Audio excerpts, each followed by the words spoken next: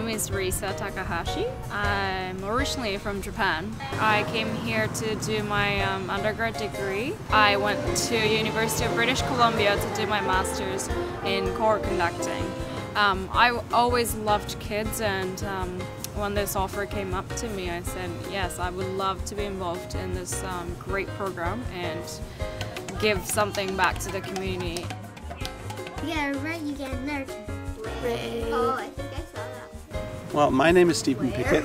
I'm just the uh, the local dog's body. I turn up every every Tuesday since I can remember, and now Thursdays as well. And um, and I play the piano. And I've accumulated over the years rather a large library of, of things suitable for children to sing. But ultimately, it's Risa who, who picks what, what, what it is that we actually perform, what we practice. Kids Sing is a choir which doesn't have auditions and is for kids from kindergarten and up to come and learn about singing in a group.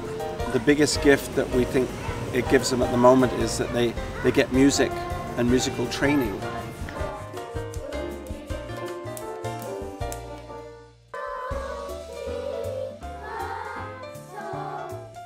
I do really believe in the work of Kids Sing in this program. Music and art does affect um, children in so many ways.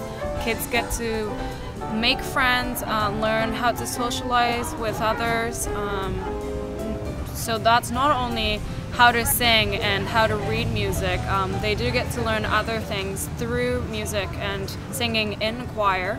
We wish to um, let it grow and make the program a little bit bigger so that more kids would be involved and more uh, children who doesn't get this experience usually at school nor at home um, we would like to have those involved in our um, Kids Sing program. We love Kids Sing!